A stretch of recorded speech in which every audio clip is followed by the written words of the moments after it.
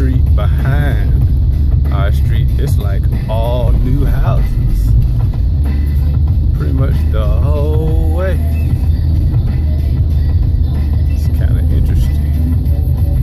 Of course, it's still kind of old projects over here.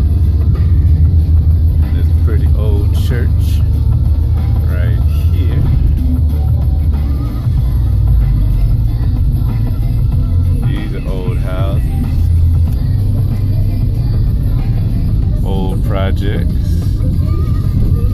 But new houses.